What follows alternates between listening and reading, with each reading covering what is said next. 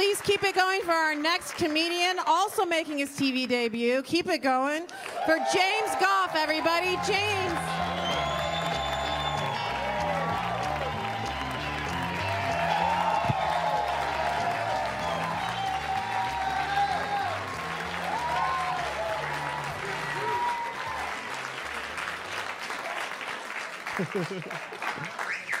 Thank you.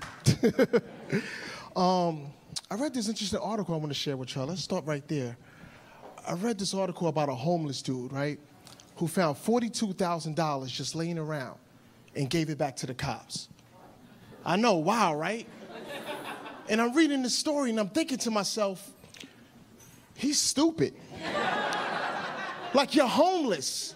Isn't this what you pray for on your first day of being homeless? Like you're sitting on a corner like, God, it's been five minutes. How do people do this for years? And then a bag of money appears and you give it back. No wonder you're homeless. You make homeless decisions.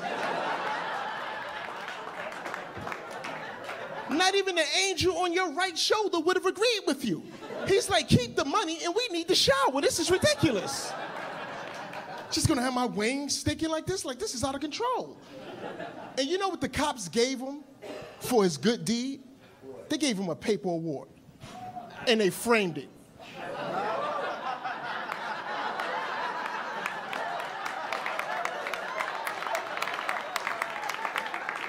Where the hell is he gonna hang it up at?